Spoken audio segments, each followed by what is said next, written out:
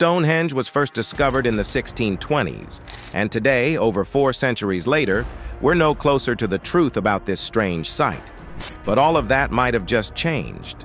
A groundbreaking discovery at Stonehenge has everyone shocked. Join us as we bring you the details about this crazy discovery and how it changes everything. Stonehenge is a prehistoric monument located on Salisbury Plain in Wiltshire, England. It is situated about two miles west of Amesbury.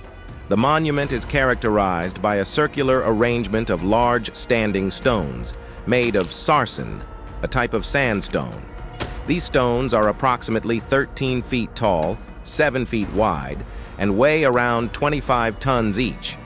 They are topped by horizontal lintel stones that connect them. Inside the outer ring of sarsen stones, there is a circle of smaller stones known as bluestones. Further inside, you can find freestanding trilithons, which are composed of two sturdy vertical sarsen stones connected by one lintel stone.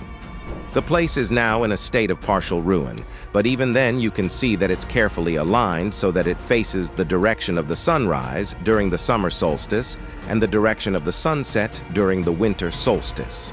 The entire monument is within earthworks, which include a circular ditch and bank. This earthwork is considered the earliest phase of the monument's construction and dates back to about 3100 BC. From what we've gathered over the past century, the initial phase of Stonehenge's construction involved the creation of a circular earthwork. This consisted of a ditch, which was dug into the ground, and a bank, which was formed from the excavated soil. This circular feature enclosed the area where the monument would later be built. Radiocarbon dating suggests that some of the bluestones, which are a type of volcanic rock, may have been present at the Stonehenge site as early as 3000 BC. These stones are believed to have been brought from a quarry in the Preseli Hills of Wales, over 150 miles away. The most iconic aspect of Stonehenge, the large standing sarsen stones, were most likely erected during this phase. These sarsen stones, which are made of a type of sandstone, were transported from the Marlborough Downs, located about 20 miles north of Stonehenge. The stones were shaped and arranged in a circular formation, with lintels placed on top to create the characteristic trilithons and outer ring. Radiocarbon dating indicates that the bluestones were repositioned within the monument during this phase. It is believed that the bluestones were originally arranged in a double circle within the monument, but they were later reorganized into the smaller circle and horseshoe arrangement that we see today. Stonehenge continued to be used and modified over the centuries. It is thought that additional stones may have been added or rearranged during this period.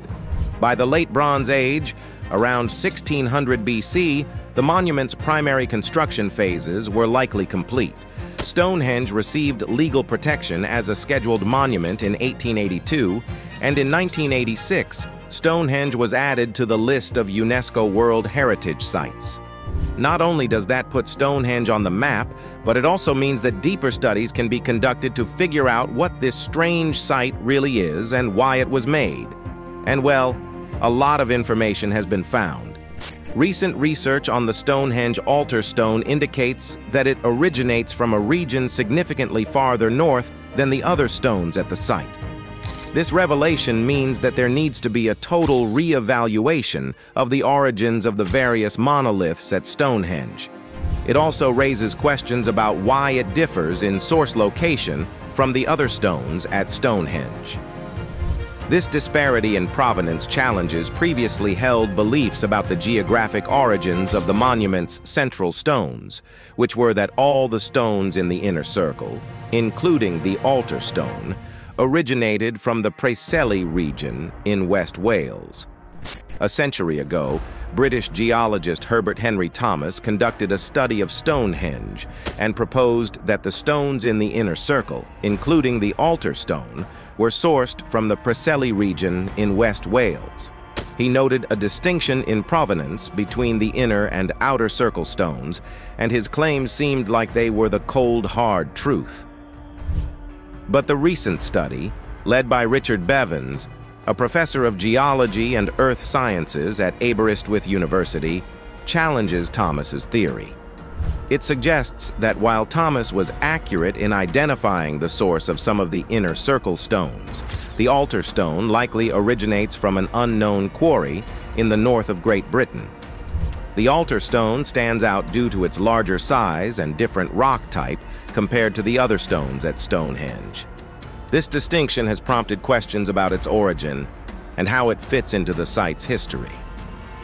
The absence of archaeological evidence indicating the arrival of the altar stone at Stonehenge raises the possibility that it may have been brought to the site at a later date.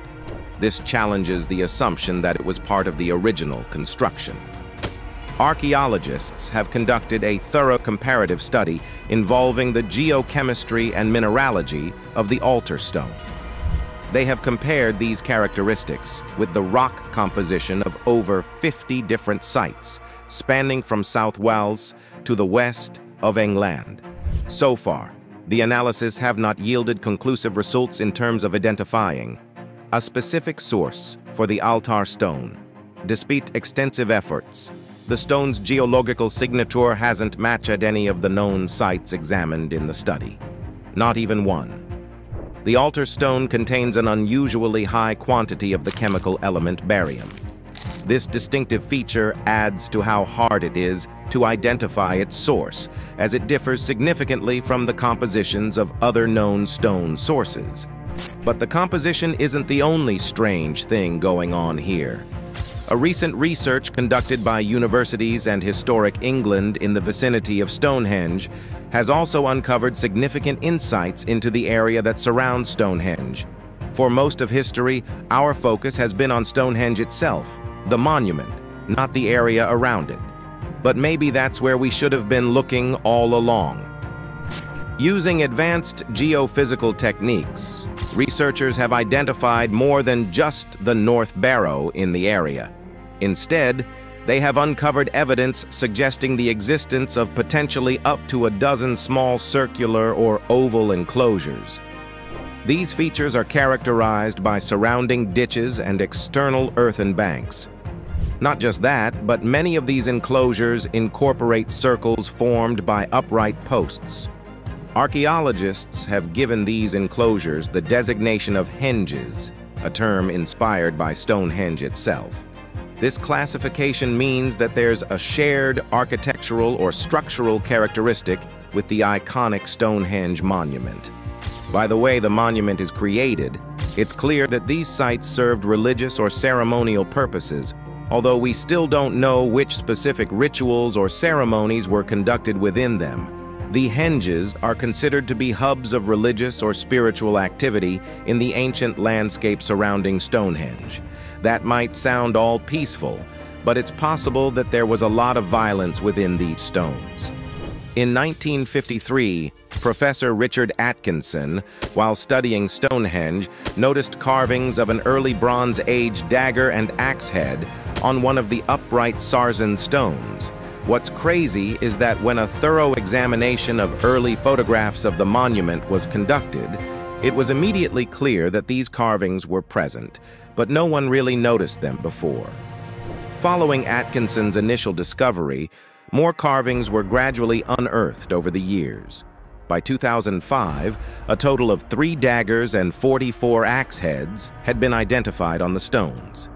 These carvings were of distinctive shapes that resembled the axes and daggers used during the early Bronze Age, specifically around 1750 to 1500 BC.